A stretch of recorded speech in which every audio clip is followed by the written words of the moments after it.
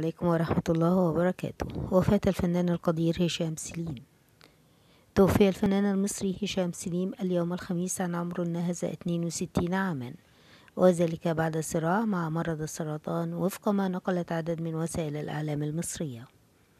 ونشر نقيب الفنانين المصريين أشرف زكي صورة الفنان الراحل هشام سليم على حسابه الموثق بمنصة انستجرام وكتب وداعا يا صديق العمر.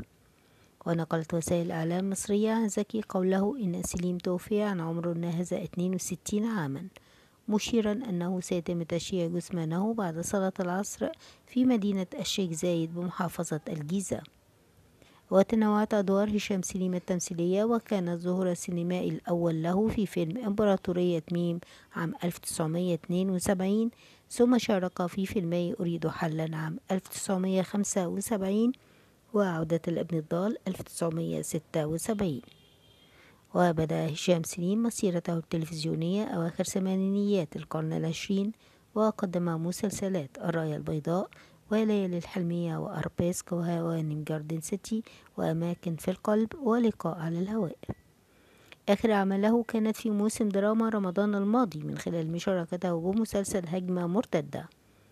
ولد هشام سليم في مدينة القاهرة عام 1958 والده هو اللاعب المشهور ولاحقا الممثل صالح سليم وشقيقه هو خالد سليم زوج الفنانة يسرى تخرج من معهد السياحة والفنادق في عام 1981 وكان قد قام بدراسات حرة في الأكاديمية الملكية بالعاصمة البريطانية لندن. وبعد أن انتهى من الدراسة عاد مرة أخرى للتمثيل بعد انقطاع دام لسنوات. وقبل أسابيع تصدر اسم الفنان هشام سليم مواقع التواصل الاجتماعي بعدما ترددت أنباء حول تدهور حالته الصحية بعد إصابته بمرض السرطان.